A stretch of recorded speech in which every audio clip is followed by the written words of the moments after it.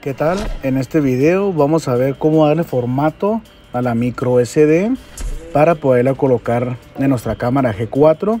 Es importante darle formato dentro de la aplicación ya que si le damos formato a través de nuestra computadora nos va a marcar error. Dentro de la aplicación Industria Dashcam hay que ingresar en el apartado que nos dice Settings. Dentro de este apartado hay que ingresar donde nos dice Storage y seleccionamos donde dice TF Information. Lo seleccionamos y aquí le damos donde dice este Format TF Card y damos en OK.